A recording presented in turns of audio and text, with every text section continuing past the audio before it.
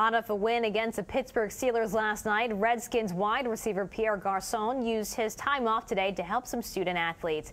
Our Whitney Wild explains why a brand new uniform meant so much to one local team. I like these jerseys better just because, I mean, you don't got to worry about the smell, how they feel. Especially when the old ones are ripped and stained. Go ahead, guys. Go ahead. Go ahead. And when the new ones come straight from Redskins wide receiver Pierre Garcon. With help from Russell Athletic, Garcon is giving out brand new varsity football jerseys to three area high schools, each team chosen through a social media contest.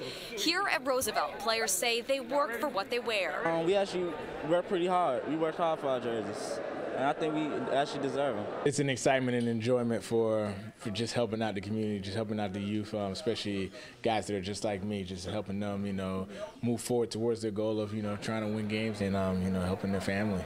It's a message meant for Nakia Dickens, who was so overcome with pride for her teenage son, she was moved to tears. He does, he does the right things. He's a good boy, he's a good kid, and I know a lot of kids that aren't.